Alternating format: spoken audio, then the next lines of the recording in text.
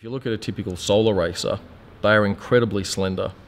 And we needed to get a CDA of around about 0.21, which is very low by most uh, commercial car standards. What a lot of people also don't realize is that when it comes to solar car design, you also need to main, you also need to maintain particular cell alignment. So the real challenge is not just being coming up with a shape that is aerodynamic and stylish, but it's also constrained by the alignment of the cells. Um, so my name is Davis and I'm the body designer for the EVX Immortus.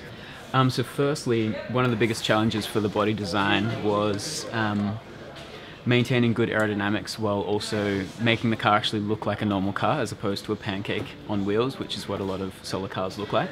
Um, it's basically an aerofoil in disguise, um, which means we've got quite smooth um, top contours of the car.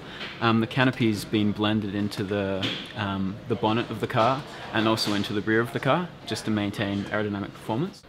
As the designer Davis Tolley said, he basically took an aerofoil and then tried to make it look good. So how it was different from a lot of other vehicle design is that you had to start with the functionality in mind first and then make it look good.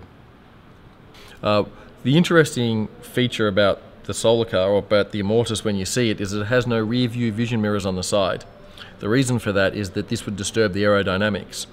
Therefore, we are going to have a series of digital cameras around the vehicle that will create a display inside, specifically set up to give the driver a near 360 awareness of how the of the vehicle's position.